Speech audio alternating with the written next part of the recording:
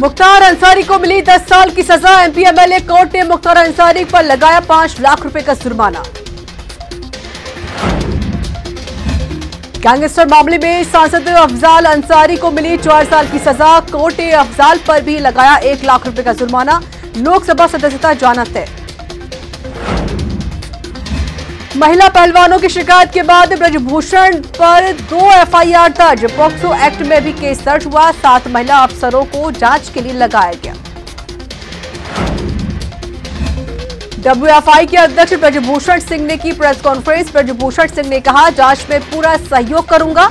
मुझे supreme court पर पूरा विश्वास है।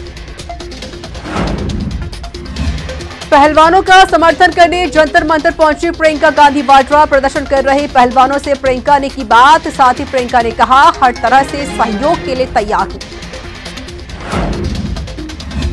पहलवानों से मुलाकात के बाद हिंदी खबर पर बोली प्रियंका गांधी, कहा, धरने पर बैठे पहलवानों से मेरी बात हुई, धरने पर बैठे पहलवानों का साथ मैं देती रहूँगी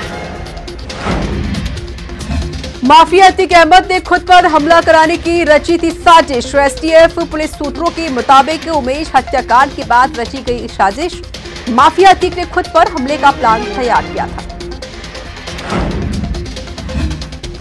अतीक हत्याकांड में गिरफ़्तार तीनों आरोपियों की कोर्ट में हुई पेशी। वीडियो कॉन्फ्रेंसिंग के ज़रिए सीजेएम कोर्ट में हुई पेशी। तीनों की कोर्ट ने चौदह दिन की न्यायिक हिरासत को बढ़ाया। सपा नेता आज़म खान ने बीजेपी को ललकारा, मंच से दी बीजेपी को चुनौती। बोले, अगर वोट नहीं दिया तो तुमसे कोई सांस लेने का हक भी छीन सकता है।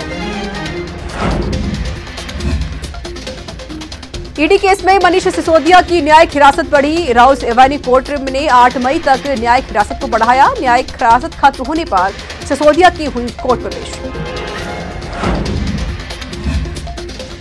सीएम योगी ने गोरखपुर में किया संबोधन। सीएम योगी ने कहा, यूपी में अब कानून का राज है, बीजेपी एक जिम्मेदार पार्टी है। महाराजगंज में सीएम योगी का संबोधन। सीएम योगी ने कहा, आज प्रदेश में विकास कार्य हो रहे हैं, योजनाओं का लाभ सभी को मिल रहा।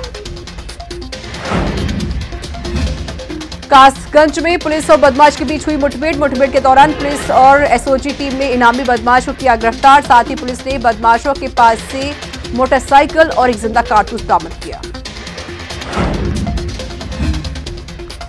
पीलीभीत में इको कार और बाइक के बीच हुई जोरदार टक्कर। हादसे में बाइक सवार पिता, पुत्री की मौके पर मौत। बाद में घटना के बाद पुलिस ने शव को पोस्टमार्टम के लिए भेजा।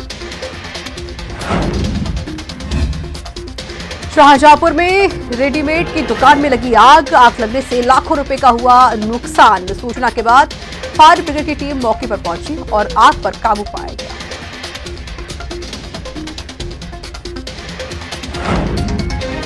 शाहजहांपुर में अनियंत्रित होकर ट्रैक्टर ट्रॉली पलटी। ट्रैक्टर ट्रॉली के पलटने से पिता पुत्र की दबकर हुई मौत। घटना के बाद पुलिस ने दोनों शवों को कब्जे में लेकर पोस्टमार्टम के लिए भेजा।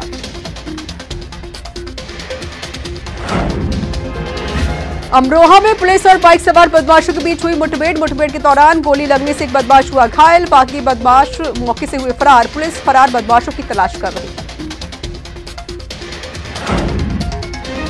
ग्रेटर नोएडा में बदमाश की पुलिस से हुई मुठभेड़। मुठभेड़ के दौरान गोली लगने से बदमाश हुआ घायल। बाद में घायल बदमाश को इलाज के लिए अस्पताल पहुँचाया गया।